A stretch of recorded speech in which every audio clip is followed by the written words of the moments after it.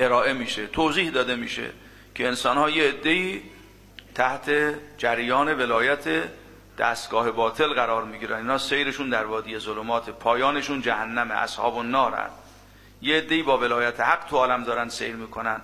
پایانشون رسیدن به هدایت و نور و نجات از زلال و جهنمه پایانشون رسیدن به بهشت و جنته یه عده‌ای سیر در ارز کنم عالم دنیا می‌کنن. عالم دنیا عالم لهو و لعبه عالمی است که بقا ندارد. عالمی است که خیر درش نیست. این خصوصیات حالا ملاحظه بفرمایید. ادعی سیرشون در عالم آخرت. عالم آخرت دوام داره بقا داره سراسر خیر عالم حیات طیبه است و اون خصوصیاتی که برای ذکر شده. گاهی گفته می شود ادعی شاخ و برگ شجره توحیدن در عالم. از شجره توحید تغذیه می‌کنن. در دامن شجره توحید پرورش پیدا می‌کنن. ادعی هم در دامن شجره خبیسه کفر شاخ و برگ درخت کفرن. این تشبیه ها بیان این دو تا جریان در قالب های مختلفی است و حتما باید دقت روش بشه دیگه که یعنی چی؟ مؤمن برگ درخت توحید هر کافری برگ درخت شجره خبیسه کفره.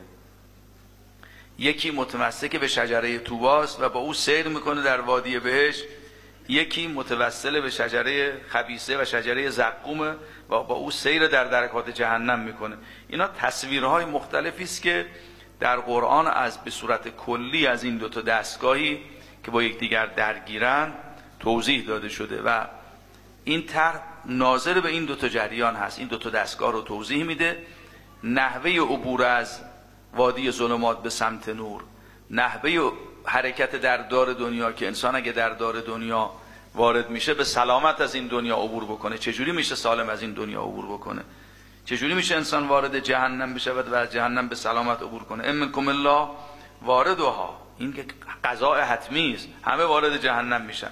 چجور می‌شود مؤمنین رو از وسط جهنم به سلامت عبور داد؟ این میشه این ته